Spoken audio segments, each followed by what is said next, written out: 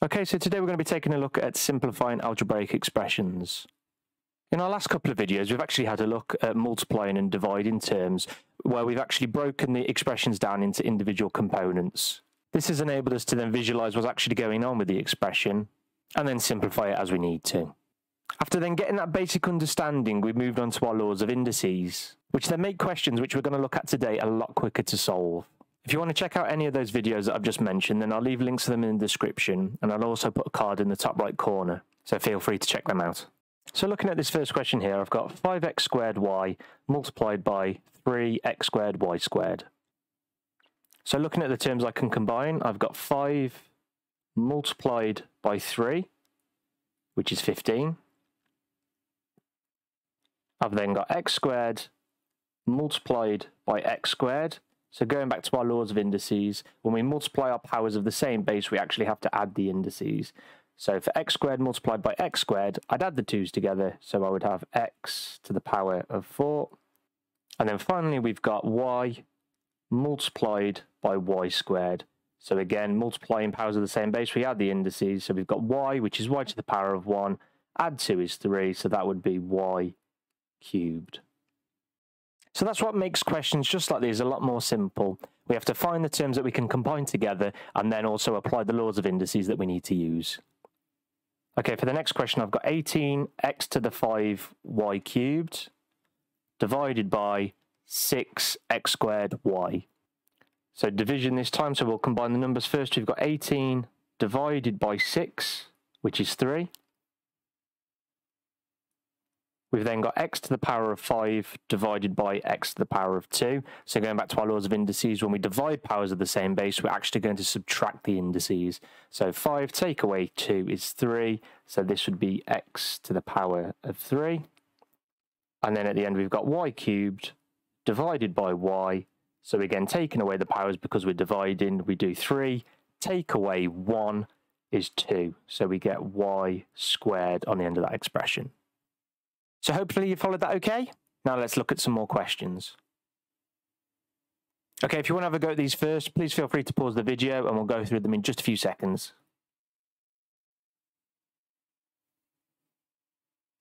Okay, so for the first question, we've got 7x squared y to the power of 4 multiplied by 3x to the power of 4 y to the power of 5. Okay, so first of all, we're going to do 7 multiplied by 3, which is 21. We're then going to do x squared multiplied by x to the power of 4. So we add the indices, so that would be x to the power of 6. And then finally, we've got y to the power of 4 multiplied by y to the power of 5. So adding those indices again, we'd have y to the power of 9. Okay, next we've got 45 x to the power of 7 y to the power of 5 divided by 9xy cubed. So to begin with, we're going to do 45 divided by 9, which is 5. We're then going to do x to the power of 7 divided by x. So again, because we're dividing the powers of the same base, we're going to subtract the indices. So 7 take away 1 is 6. So that would be x to the power of 6. And then finally, we'd have y to the power of 5 divided by y to the power of 3. Subtracting the indices, we'd have y squared. Right, then for this next question, we've got 5x squared multiplied by 6x cubed, then divided by 3x. So for this particular question, we're going to simplify the numerator to begin with. We're then going to divide it by the denominator. So simplifying the numerator to begin with, we'd have 5 times 6, which is 30. We'd then have x squared multiplied by x cubed, which would be x to the power of 5. And then we still have got to divide this by 3x. Okay, so now that the numerator is simplified, we're going to divide through by our, our 3x. So to begin with, we've got to do 30 divided by 3, which is 10. We then have x to the power of 5 divided by x, so we subtract the indices. So 5 take away 1 is 4, so we've got x to the power of 4. Okay, we're going to do the same for this next question. We're going to simplify the numerator, and then once we've done that, we'll divide through by the denominator. Okay, for the first bit then, we've got 4 multiplied by 4, which is 16.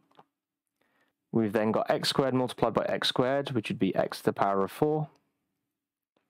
We've then got y cubed multiplied by y, so adding the indices, we'd have 3 add 1, which is 4 as well. So y to the power of 4, and then we've got to divide this by 4x cubed y still. Okay, so now we've got 16 divided by 4, which is 4. We've then got x to the power of 4 divided by x to the power of 3, which would be x, because we subtract the indices. And then we've got y to the power of 4 divided by y is actually y to the power of 3. Okay, well done if you had a go at them and you got them right. Let's have a look at a few more questions. Okay, for this next question, we've got x cubed y squared all squared. So this goes back to our indice laws of where we have a base to a power, which we then raise to another power, which in that scenario, we actually have to multiply the indices together. In this question, we've actually got multiple terms, so we've got to make sure that we do it to both of them. So to begin with, I've got this x cubed, which we're then raising to the power of 2 again. So I've got to multiply these indices together. So 3 multiplied by 2 is 6. So that would be x to the power of 6. And then I've also got to do that for my term of y squared. So I've got y squared, which we're then also raising to the power of 2 again. So we do 2 multiplied by 2, which is 4. So that would actually be y to the power of 4. So that one fully simplified would actually be x to the power of 6, y to the power of 4. Okay, so looking at this next question, we've got a similar example. So to begin with, we've got x, y to the power of 4, all cubed. So to begin with, I've got that x, which then I'm going to raise to the power of 3. So x is just x to the power of 1, multiplied by 3 is 3, so that would be x cubed. Then we have y to the power of 4, which we're going to also raise to the power of 3 again. So we do 4 multiplied by 3, which is 12. So that would be y to the power of 12. So that's that one fully simplified. Okay, these last couple of questions are very similar to the two we've just done, but this time we've also got a coefficient included. So for this first one, we've got 2x squared y cubed, all cubed. So we've got to make sure that we incorporate that power of 3 on the outside of the bracket to all the terms on the inside. So to begin with, I would have 2, which I'm then going to raise to the power of 3. So that would be 2 cubed. So 2 cubed is 8. I'd then move over to my x squared. So we take the x squared and we'd raise that to the power of 3. So again, we're going to multiply the indices. So 2 times 3 is 6, so that would be x to the power of 6.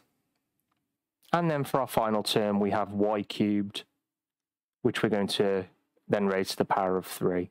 So 3 times 3 is 9, so that final term would actually be y to the power of 9. So our final expression would be 8 x to the 6, y to the 9. Okay, and for our final question today, we've got 5 x to the 4, y to the 5, z to the 10, all raised to the power of 3. So we're going to start with this 5, which we then raise to the power of 3. So that's 5 cubed, which is 125. Moving along, we have x to the power of 4, which we're then raising to the power of 3. So multiplying the indices, we've got 4 times 3, which is 12. So that would be x to the power of 12. Moving along to the next term, we've got y to the power of 5, which we're raising to 3 again. So multiplying the indices, 5 times 3 is 15. So that would actually be y to the power of 15. And then finally, we have this z to the power of 10, which we're going to raise to the power of 3 again. So we do 10 multiplied by 3, which is 30. So we'd have z to the power of 30. So our final simplified expression would be 125 x to the power of 12, y to the power of 15, z to the power of 30. Okay, and that's it for today's video. I hope you found it useful. If you did, please feel free to leave a like and consider subscribing. If there are any specific topics at all you'd like me to go over next, please just let me know in the comments. So thank you very much for watching, and I'll see you in the next video.